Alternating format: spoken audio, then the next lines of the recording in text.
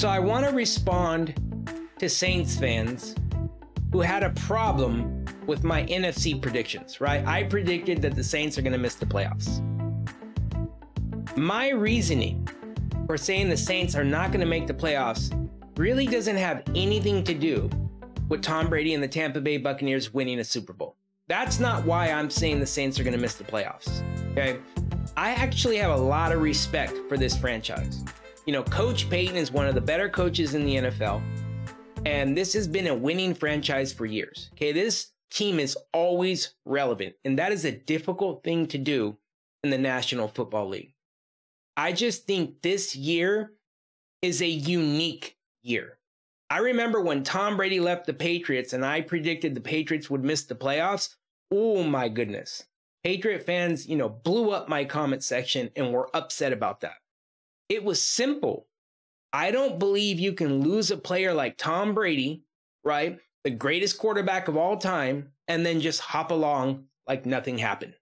Okay, I just don't believe that. Tom Brady was there for 20 years, and he was a huge part of the culture change. Okay, a huge part, a huge part of all those intangibles we don't see Monday through Saturday. And I was right. The Patriots didn't go to the playoffs. And when I look at the Saints right now, we're not talking about just any quarterback who left the Saints this year. We're not talking about a quarterback, right? We're talking about Drew Brees. Arguably, you know, a top 10 quarterback all time, Many would argue top five all time. There are many who believe he should be the GOAT. Like you're talking about a quarterback here who had multiple seasons with over 5,000 yards. You're talking about a quarterback here who came to a team that was a losing team and a losing franchise. And ever since he got there, turned it into a winning team and a winning franchise. And you can say, well, he was old and washed up and he wasn't really playing that good anymore. Well, all I know is that the Saints offense for the last three years averaged more than 30 points a game. You know how hard that is? A matter of fact, I believe they're the only team to do it for the last three years in a row. So say what you want about his play, but his offense was scoring points. And when you've been doing your craft for so many years, no matter what you do for a living, when you do it for a long time, you figure little things out. You get little nuggets, right? and it helps you become better at what you do. And that's what Drew Brees had. We saw it with Peyton Manning in the Super Bowl, right? When he was playing with the Broncos and they won a Super Bowl, it wasn't the same Peyton Manning, but he still brought a certain something where he was able to lead the Denver Broncos to win a Super Bowl. And it had to be him. There are other things that a quarterback can bring that have an impact on a team, right? Besides stats.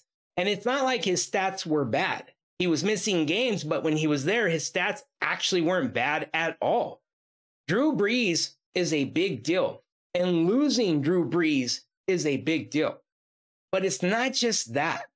It's not just that the Saints lost Drew Brees, they are having so many problems right now. They have several players who are injured. They lost several players to the salary cap, right? and they have a player who's suspended for steroid use, right? PEDs. Okay, let me let me share a list with you. Okay, let me let me name the names of all the players that are gone, injured, or suspended. Okay, Drew Brees gone. Trey Hendrickson, who was the best defender on this team, is gone. Janoris Jenkins, right? A, a, a really really good cornerback. You know, almost still elite. Janoris Jenkins is a really good cornerback. He's gone. Emmanuel Sanders, right? An above average wide receiver, he's gone. Malcolm Brown, the nose tackle, he's gone. Sheldon Rankins, defensive tackle, he's gone. Michael Thomas, arguably one of the best wide receivers in football, delayed his surgery, and now he's going to miss six to eight games of this upcoming season. Tre'Quan Smith, another wide receiver, is dealing with some minor injuries. Adam Trautman, the tight end, the starting tight end, just got an MRI, right? And say what you want, they're saying it's all fine and good. To me, when you get an MRI, this is a big deal. David Onyemata, which is huge, he is huge. The left defensive tackle, he's serving a six game suspension. Okay. His backup, Jalen Dalton, is now on injured reserve and got hurt in preseason.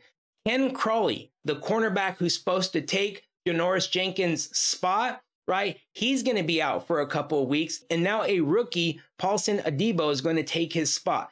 Malcolm Jenkins is going on his 13th season in the NFL. Cameron Jordan, I believe, is going on either his 10th or 11th season in the NFL.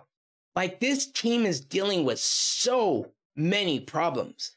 Not only did they lose an all time, you know, awesome quarterback in Drew Brees, who brought all those intangibles that are essential in a locker room, who brought all those intangibles that are essential to winning. All that is gone. You have all these other problems. Several players lost because of salary cap, several players who are injured, you know, one player who's serving a suspension. I mean, there are problems all over the place. And then you add on top of all of this a quarterback problem, right? Is it Jameis Winston or Taysom Hill? And I have a feeling they're going to go with Jameis Winston, which they should. He's been playing better. But let me tell Saints fans what Bucks fans already know. The interceptions he threw last year, that wasn't the first time.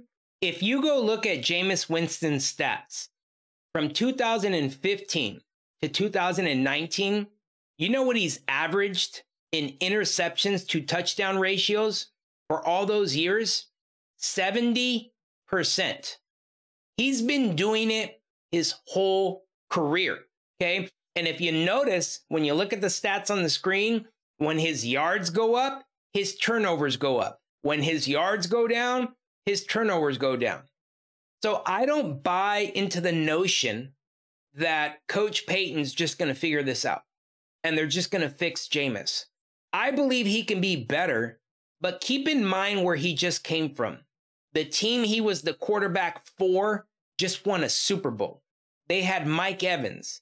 They had Chris Godwin. They had Cameron Brate, Scotty Miller. Like that team was loaded with talent, and he couldn't do it there. What's going to be different with New Orleans? The fact that he threw two really cool touchdowns in preseason, that means nothing. Every quarterback looks good right now in the preseason. So when you put all this together, there's just way too many things going on with New Orleans right now. Like I said, I got a lot of respect for Coach Payton. I got a lot of respect for this franchise, but there's just too many things going on. You lost Drew Brees, you lost a ton of players, you have players who are suspended, you have players who are injured, you have players purposely postponing their injuries so they can miss you know, uh, uh, games in the regular season. You have a quarterback, you know, challenge going on with a quarterback who couldn't do it with a previous team that just won a Super Bowl.